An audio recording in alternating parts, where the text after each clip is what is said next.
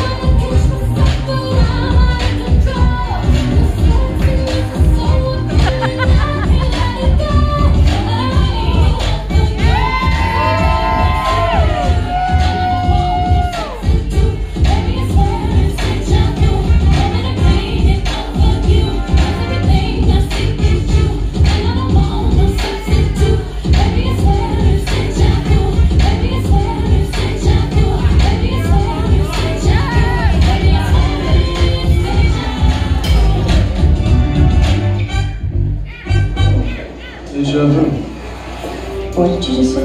Nothing, just had a little deja vu. What did you see? A black cat went past us, and then another that looked just like it. How much like it? Was it the same cat? Might have been, I'm not sure. What is A it? deja vu is usually a glitch in the matrix. What happens when they change something?